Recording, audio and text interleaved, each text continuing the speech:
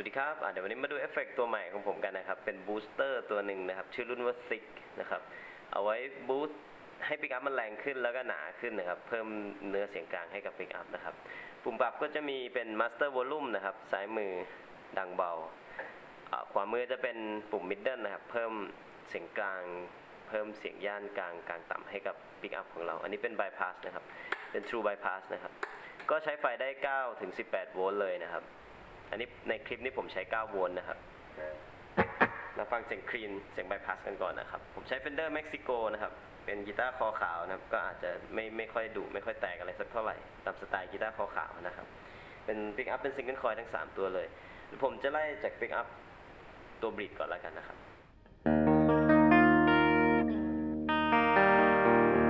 อัน นี้ไม่ได้เพิ่มเสียงกลาง ถ้าเรา boost ใช้แค่ตัว master มันก็จะดังขึ้นเฉยๆนะครับ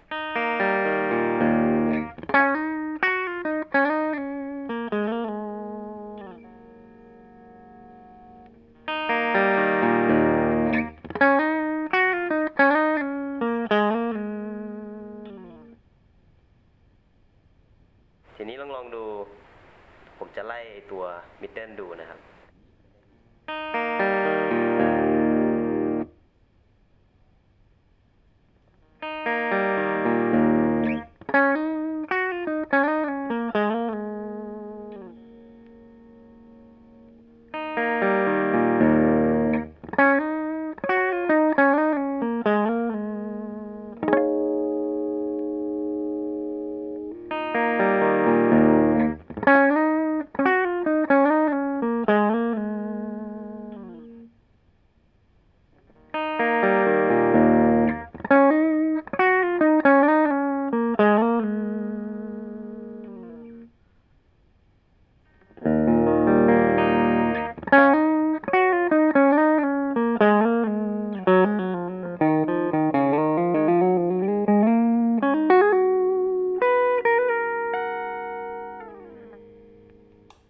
เทียบกับ bypass ดูนะครับ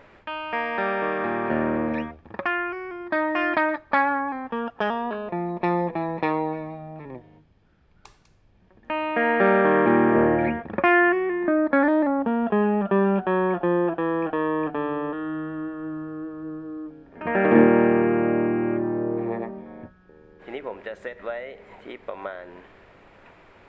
ครึ่งเดียวพอนะครับ แล้วก็มาเร่งความแรงเอานะฮะ